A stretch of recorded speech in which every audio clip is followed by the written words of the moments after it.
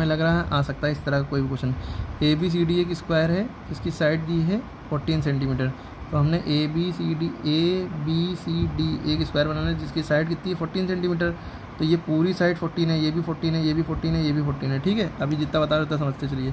ठीक है? Assuming A B C D as centre such that A माना कि ए बी सी डी ये किसी चार सर्किल के सेंटर है. देखिए आगे लिखा है.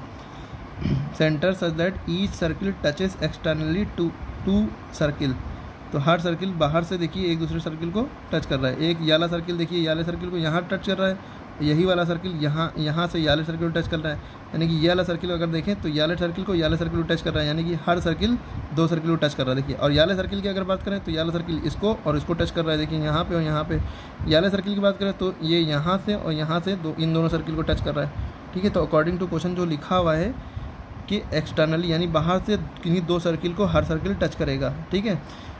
Out of rest three circle में, ठीक है? तो find the area of shaded portion यानी कि जितना अंदर शेडेड पोर्शन है, इसका एरिया बताइए। अब देखिए ये होगा कैसे? भाई, ये असल बात, अपनी जगह ये सवाल आसान है। हमें क्या पता है? भाई, ये हमारे पास देखिए डायग्राम आप हमेशा कॉपी में इस तरफ़ बनाइएगा, अगर बनाइएगा, ठीक है? बनाना तो चाहिए वैसे।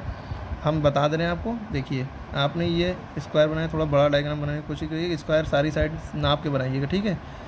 और अगर आप देखें तो ये कुछ इस तरह से बन रहा है अंदर है ना? ये कुछ इस तरह से बना है और इसके बारे में आपको पहचान है ही है पहले से ठीक है? ये यूँ आया और ये यूँ ठीक? तो ये कुल मिला के ये सेक्टर कहलाता है ना? आपको हम बता चुके हैं आ, क्या कहलाता है ये?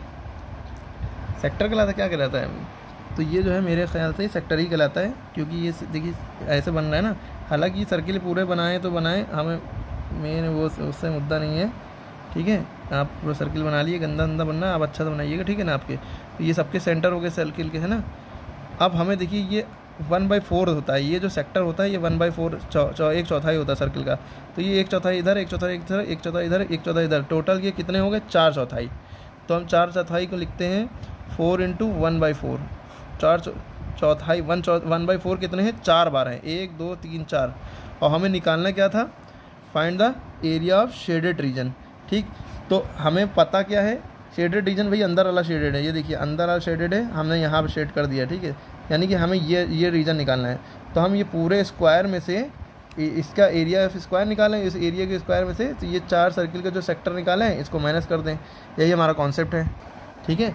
तो अब इसमें कुल मिला के हमें शेडेड रीजन पता करना है तो कुल मिला के हमारा फार्मूला हो जाएगा एरिया ऑफ़ शेडेड रीजन का। फार्मूला याद रखिए एरिया ऑफ़ शेडेड रीजन का हम फार्मूला क्या लगा सकते हैं? भाई, क्या कर दें हम?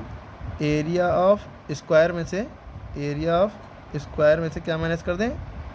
एरिया ऑफ़ सर्किल माइनस कर दें। और सर्किल का एरिया यानी एक चौथाई है, ठीक है? तो एरिया ऑफ़ स्क्वायर का फॉर्मूला भाई स्क्वायर की साइड कितनी दी है? हमने बताया फोर्टीन फोर्टीन दिए टोटल ठीक है? तो एरिया स्क्वायर का फॉर्मूला होता है साइड इंटू साइड यानी fourteen into fourteen minus area of circle का फॉर्मूला क्या होता है? पाई आर स्क्वायर क्या होता है? पाई आर स्क्वायर ठीक?